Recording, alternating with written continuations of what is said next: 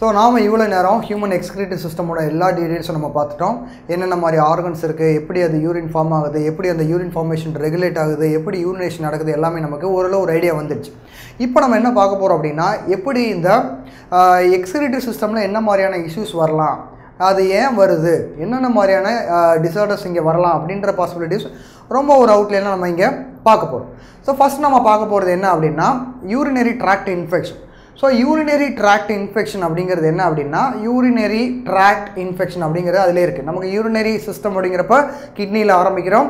Ureter U bladder and urethra so இதை நம்ம ரிவர்ஸில் யோசித்து பார்க்கணும். ஸோ நமக்கு நம்மளுடைய எக்ஸ்கிரிட்டரி ஆர்கன்ஸ் வெளியில் எக்ஸ்டர்னலாக எப்படி இருக்குது அப்படின்னு நம்ம பார்த்தோம் அப்படின்னா யூரிட்டர் ஐ மீன் யூரித்ரா வந்து வெளியில் எக்ஸ்போஸ் ஆகிருக்கு என்வரான்மெண்ட்டோட எக்ஸ்போஸ் ஆகிருக்குது அதுக்கு பக்கத்துலேயே நம்ம ஃபீக்கல் மேட்டரை எக்ஸ்க்ரீட் பண்ணக்கூடிய அந்த ஹோலும் அங்கே எக்ஸ்போஸ் ஆகிருக்கு ஸோ அப்படின்னா இங்கே என்ன பாசிபிலிட்டினா ஃபீக்கல் மேட்டரில் நிறைய ஆர்கானிசம்ஸு பேத்தோஜென்ஸ் வர்றதுக்கான எக்ஸ்க்ரீட் ஆகிறதுக்கான சான்சஸ் ரொம்ப ஜாஸ்தி.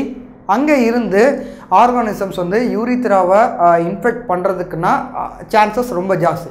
அதுவும் compare to male and female நம்ம பார்த்தோம் அப்படின்னா நம்ம ஏற்கனவே ஸ்ட்ரக்சர் வைஸ் சொல்லும்போது மேலோட யூரித்ரா வந்து ரொம்ப லென்த்தாக இருக்கும் கம்பேர் டு த ஃபீமேலோட யூரித்ராவோட லென்த் ஸோ அதனால் என்ன ஆகும் அப்படின்னா அவங்க யூரித்ராவில் இந்த ஃபீக்கல் கண்டாமினேஷன் அதில் இருந்த பாக்டீரியாஸ் வந்து இதை இன்ஃபெக்ட் பண்ணுறதுக்கான சான்சஸ் வந்து ரொம்ப ஜாஸ்தி. ஸோ யூரினரி ட்ராக்ட் இன்ஃபெக்ஷன் அப்படின்னு நம்ம பார்க்கும்போது கம்பேர் டு மேல் ஃபீமேல்ஸுக்கு அதுக்கான பாசிபிலிட்டிஸ் அண்ட் சான்சஸ் வந்து ரொம்ப ரொம்ப ஜாஸ்தி. ஸோ இங்கே என்ன நடக்குது? என்ன இன்ஃபெக்ஷன் எதனால் நடக்குதுன்னா இந்த bacterias from the faecal contamination இங்கே வந்து வாஷ் பண்ணும்போது அந்த ஆக்சிடெண்டெல்லாம் இங்கே எக்ஸ்போஸ் ஆகி யூரித்ரால இன்ஃபெக்ஷன் ஸ்டார்ட் ஆகுது. அதை தான் நம்ம யூரினரி ட்ராக்ட் இன்ஃபெக்ஷன் சொல்கிறோம் ஸோ யூரினரி ட்ராக்ட் இன்ஃபெக்ஷன் இருக்கிறதுனால அவங்களுக்கு என்ன ஆகும்னா நிறைய ப்ராப்ளம்ஸ் அது காமிக்கும். அதில் வந்து ஒயிட் கலரில் பஸ் மாதிரி யூரின் வரும் ஒரு க்ளவுடி யூரின் வரும் blood வரலாம் யூரினில் அதில் ஒரு இன்ஃப்ளமேஷன் புண்ணு மாதிரி அந்த யூரித்ரால வரலாம். இந்த மாதிரி அதில் அவங்களுக்கு ஒரு ஒரு பீரியடிக்கெல்லாம் நிறைய ஃபீவர் சிம்டம்ஸ் அவங்களுக்கு தெரியும். பாடி டெம்பரேச்சர் திடீர்னு ரைஸ் ஆகும் ஒரு சில்னஸ் எப்போவுமே ஒரு ஒரு மாதிரி குளிராக ஃபீல் பண்ணுவாங்க. இந்த மாதிரி நிறைய சிம்டம்ஸும் அந்த யூடிஐ இன் இன்ஃபெக்ஷன் இருக்கிறவங்க கிட்ட நம்ம பார்க்கலாம். ஸோ யூரித்ரைட்டிஸ் அப்படின்னா ஐட்டிஸ்னு முடிஞ்சாலும் இன்ஃப்ளமேஷன் அப்படின்னு நம்ம நிறைய தடவை பார்த்துருக்குறோம். யூரித்ரைட்டிஸ் அப்படின்னா யூரித்ரால மட்டும் அந்த இன்ஃப்ளமேஷன் இருக்குது அப்படின்னா யூரித்ரைட்டிஸ் ஸோ இந்த ஸ்டேஜில் இருக்கும்போது இதை க்யூர் பண்ணுறது ரொம்ப ஈஸி நிறைய எக்ஸஸாக தண்ணி குடித்தாலே அது வந்து அந்த யூரித்ரைட்டிஸ் ஸ்டேஜில் இருக்கும்போது அது க்யூர் ஆகிடும் சிஸ்டைட்டிஸ் அப்படிங்கிறது என்னென்னா அடுத்த ஸ்டேஜ் அந்த இன்ஃபெக்ஷன் வந்து ரிவர்ஸில் நீங்கள் யோசிச்சு பார்த்தீங்கன்னா அடுத்த ஸ்டேஜ் யூரித்ரால நிறைய ஸ்ப்ரெட் ஆகிடுச்சு அதுக்கு அடுத்த பக்கத்தில் இருக்கிற ஆர்கன் அப்படின்னா அதோட கண்டினியூஷன் பிளாடர் பிளாடரில் யூரினரி பிளாடர் வரைக்கும் அந்த இன்ஃபெக்ஷன் ஸ்ப்ரெட் ஆயிடுச்சு. இப்போ பிளாடரும் சேர்ந்து இன்ஃபெக்ட் ஆகிருக்குன்னா அதுக்கு பேர் சிஸ்டைட்டிஸ் இதுலேயும் அவங்க க்யூர் பண்ணலாம் எதுவும் ட்ரீட்மெண்ட் எடுத்துக்கல அப்படின்னா அது வந்து இன்னும் அந்த யூரிட்டஸ் வழியாக ஸ்ப்ரெட் ஆகி எங்கே போகுது? அந்த ரீனல் சிஸ்டம் வரைக்கும் போயிட்டு அது அஃபெக்ட் பண்ணுது. இப்போ ரீனலும் இன்ஃபெக்ட் ஆகிருக்குது அப்படின்னா அதை நம்ம பைலைட்டிஸ் அப்படின்னு நம்ம சொல்கிறோம் இப்போ கிட்னியே அஃபெக்ட் ஆகிடுச்சு அப்படின்னா இப்போ யூடிஐ வந்து ரொம்ப சிவியரான ஒரு ஸ்டேஜ் இப்போ நம்ம கரெக்டான ட்ரீட்மெண்ட் இங்கே கொடுக்குற நார்மலாக ஆன்டிபயோட்டிக்ஸில் காம்பினேஷன் ஆஃப் ஆன்டிபயோட்டிக்ஸில் நம்ம யூடிஐயை ஈஸியாக க்யூர் பண்ணிடலாம். பட் இது ரெக்கரண்டாக திரும்ப திரும்ப வரக்கூடிய ஒரு டிசீஸ் ஏன்னா அவங்களுக்கான எக்ஸ்போசர்ஸ் ஜாஸ்தி. நம்ம அந்த இன்ஃபெக்ஷன் அந்த ஏஜென்ட்டுக்கான எக்ஸ்போசர் ஜாஸ்திங்கிறதுனால அடிக்கடி வரதுக்கான பாசிபிலிட்டிஸ் இருக்குது ஒரு தடவை வந்துச்சுன்னா க்யூர் இருக்க ரொம்ப டைம் ஆகும். பட் ஆனால் with antibody we can easily cure the particular thing call UTI ஒருவேளை அவங்க சரியான ட்ரீட்மெண்ட் எடுத்துக்கல சரியான ஆன்டிபயோட்டிக் கொடுக்கல இல்லை ஆன்டிபயோட்டிக் அது ரெஸ்பான்ஸ் பண்ணலை அப்படின்னா என்ன ஆகும்னா நிறைய காம்ப்ளிகேஷன்ஸ் அது ஃபார்ம் பண்ணும். நான் ஏற்கனவே சொன்ன மாதிரி கிட்னி வரைக்கும் அது போயிடுச்சு. கிட்னியை இன்ஃபெக்ட் பண்ணிடுச்சு அப்படின்னா கிட்னி வந்து அதோட இன்ஃபெக்ஷனால் கிட்னியோட ஃபங்க்ஷன்ஸ் வந்து அங்கே ரெடியூஸ் ஆகும்.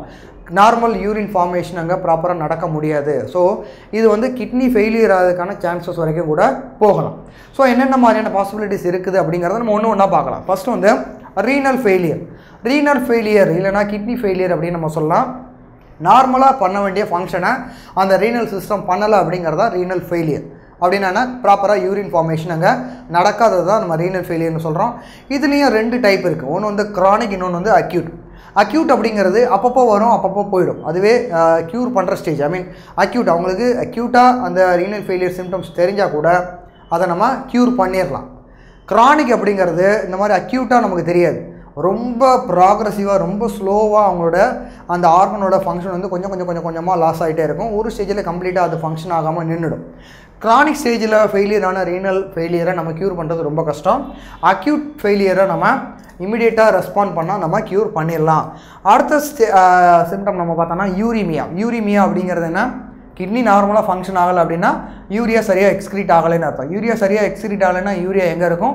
பிளட்டில் அதோட பிளாஸ்மாவில் தான் இருக்கும். So presence of excess of urine urea in the blood is called uremia so normal levels அப்படின்னு நம்ம பார்த்தோன்னா ஒரு eighteen to thirty grams per hundred ML of blood வந்து யூரியா இருக்கலாம் அப்படின்னா இதுலேருந்து ஒரு டென் டு ஃபிஃப்டீன் டைம்ஸ் அது இன்க்ரீஸ் ஆகிருக்கும் அந்த யூரியா பர்சனுக்கு அப்படின்னா என்ன அர்த்தம்? அவங்களோட பிளட்டில் இருந்து நம்ம பிளாஸ்மா எடுத்து லெவல் செக் பண்ணால் யூரியா ரொம்ப அதிகமாக இருக்கும். அப்படின்னா என்ன அர்த்தம்? கிட்னி சரியாக வேலை செய்யலை. யூரின் சரியாக எக்ஸ்க்ரீட் ஆகலை அப்படின்னு அர்த்தம். ஸோ அதுதான் இந்த யூரிமியா ஸோ யூரின் அனாலிசிஸ் வேறு இது வேறு. இதுக்கு அனலைஸ் பண்ணுற யூரின் யூஸ் ஆகாது. பிளட் டெஸ்ட் நம்ம கொடுக்கும்போது அதில் யூரினோட யூரியாவோட லெவல் எவ்வளோ இருக்குன்னு அதில் ஒரு வேல்யூ எழுதியிருப்பாங்க. அது வந்து த்ரிசோல்டு வேல்யூ விட ரொம்ப அதிகமாக டென் டைம்ஸ் அதிகமாக இருந்துச்சுன்னா கண்டிப்பாக அவங்களுக்கு ஏதோ கிட்னி ஃபெயிலியர் இதில் கிட்னியில் ஏதோ இஷ்யூ இருக்குது அப்படிங்கிறத அவங்க பார்த்துக்கலாம். அடுத்தது ரீனல் கால்குலை ரீனல் கால்குலை அப்படிங்கிறதுக்கு நிறைய சினானிம்ஸ் இருக்குது கிட்னி ஸ்டோன்னு சொல்லலாம் ரீனல் ஸ்டோன்னு சொல்லலாம்.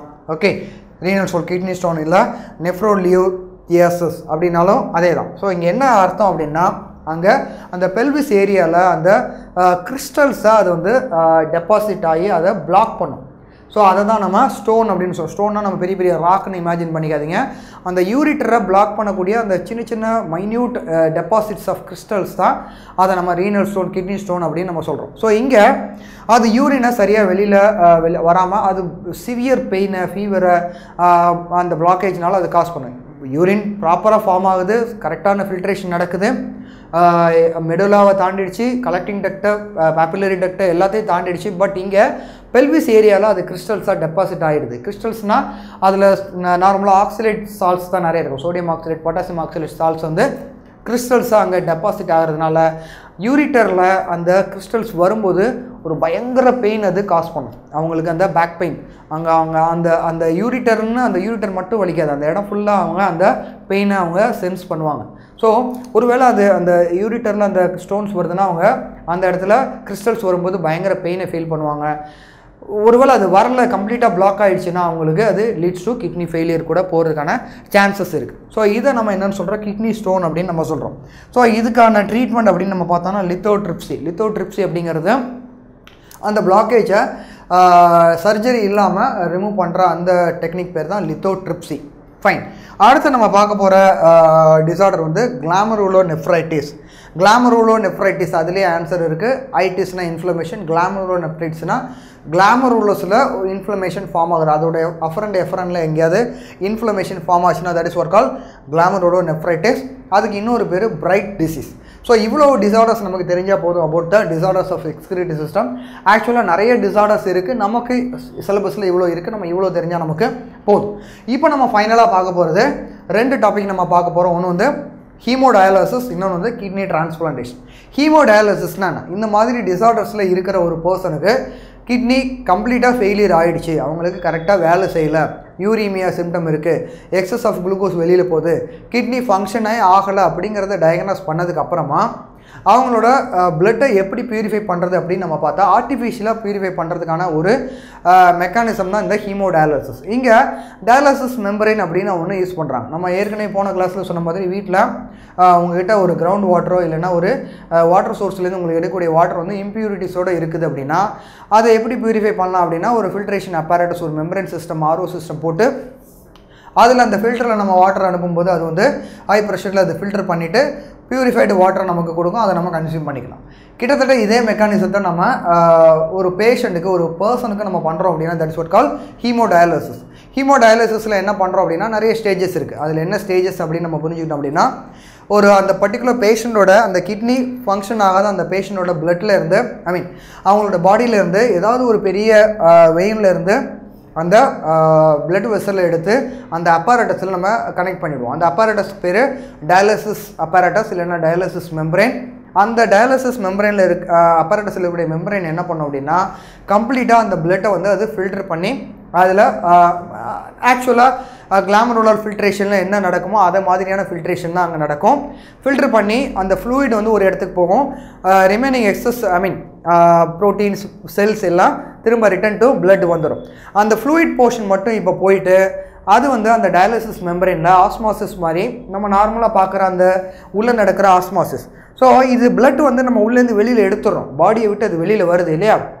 எப்போவுமே ஒரு அனிமல் பாடியை விட்டு பிளட் வெளியில் வந்ததுனால இம்மீடியட்டாக அது வந்து கிளாட் ஆகிடும் கொயாகுலேட் ஆகிடும் ஸோ அந்த கொயாகுலேஷனை ப்ரிவென்ட் பண்ணுறதுக்காக நம்ம பிளட் வெளியில் எடுக்கும்போதே நம்ம என்ன ஆட் பண்ணுறோம் அதில் ஹெப்பாரின் ஆட் பண்ணுறோம் ஹெப்பாரின் அப்படிங்கிறது ஆன்டி கொயாகுலன் பிளட் வந்து கிளாட் ஆகாமல் ப்ரிவென்ட் பண்ணுற ஒரு ஒரு சப்ஸ்டன்ஸ் தான் அந்த ஹெப்பாரின் ஸோ ஹெப்பாரின் ஆட் பண்ண பிளட் வந்து ஃபில்டர் ஆகுது. எக்ஸஸ் இருக்கிறதெல்லாம் செல்ஸு பிளாஸ்மா ரிமைனிங் பிளாஸ்மா அதுக்கப்புறம் ப்ரோட்டீன்ஸ் எல்லாம் ரிட்டர்ன் வந்துடுது ஃபில்டர் ஆன பிளாஸ்மா வந்து இப்போ டயாலிசிஸ் மெம்பரேன் போகுது. டயாலிசிஸ் மெம்பரேன் நம்ம எந்த என்வரான்மெண்ட்டில் வச்சுருப்போம்னா ஐசோடானிக் என்வரான்மெண்ட்டில் வச்சுருப்போம். அப்படின்னா என்ன அர்த்தம்? உள்ளே இருந்து குளுக்கோஸு மற்ற மெட்டீரியல்லாம் அனாவசியமாக வெளியில் வராமல் மெயின்டைன் பண்ணுற மாதிரி ஒரு solid கான்சன்ட்ரேஷன் இருக்கிற என்வரான்மெண்ட்டில் வச்சுருப்போம். பட் அதில் ஸ்பெசிஃபிக்காக எக்ஸ்க்ரீட் பண்ண வேண்டிய அந்த யூரியா ட்ரக்ஸு அந்த கிரியேட்டினின் ஹிப்யூரிக் ஆசிட் அந்த மெட்டீரியல் மட்டும் வெளியில் எக்ஸ்க்ரீட் ஆகிற மாதிரி அந்த செட்டப் நம்ம அந்த சொல்யூட் என்வரான்மெண்ட் நம்ம கொடுத்தோம் அப்படின்னா அது மட்டும் வெளியில் ஊஸ் அவுட் ஆகி வெளியில் வந்துடும் இப்போ ரிமைனிங் ஃப்ளூயிட்டை நம்ம ரிட்டர்ன் பண்ணி திரும்ப அதை பாடிக்குள்ளேயே நம்ம அனுப்பிடுறோம். இது வந்து ரொம்ப காம்ப்ளிகேட்டடான ப்ராசஸாக தெரிஞ்சால் கூட பட் இது மாதிரி பண்ணுறதுனால நிறைய பேர் பேஷண்ட்டோட லைஃப் டியூரேஷன் நம்மளால் என்ஹான்ஸ் பண்ண முடியும். பிகாஸ் அவங்களுக்கு கிட்னி ரெண்டுமே வேலை செய்யலை. அந்த மாதிரி டைமில் இந்த ஆர்டிஃபிஷியல் ஃபில்ட்ரேஷன் மூலமாக டயாலிசிஸ் மூலமாக அவங்களோட பிளட்டை நம்ம பியூரிஃபை பண்ணி அனுப்பலாம். இது வந்து பீரியடிக்கலாக பண்ணிக்கிட்டே இருக்கணும். அவங்களோட சிவியாரிட்டியை பொறுத்து எவ்ரி வீக்கோ எவ்ரி மந்த்தோ அவங்களுக்கு அந்த டயாலிசிஸ் பெர்ஃபார்மன்ஸ் பண்ணிகிட்டே இருக்கணும். இதை அவாய்ட் பண்ணணும் அப்படின்னா என்ன பண்ணலாம் அப்படின்னா அவங்களுக்கு இருக்கிற இன்னொரு சொல்யூஷன்னா கிட்னி டிரான்ஸ்பிளான்டேஷன் கிட்னி டிரான்ஸ்பிளான்டேஷனில் என்ன பண்ணலாம் அப்படின்னா இவங்களுக்கு அந்த கிட்னியை ரீப்ளேஸ் பண்ணலாம். என்ன பண்ணலாம் அப்படின்னா இப்போ நம்ம நிறைய பார்க்குறோம். ஆர்கன் ஹார்வெஸ்டிங் அப்படின்னு நம்ம அடிக்கடி கேள்விப்படுறோம்.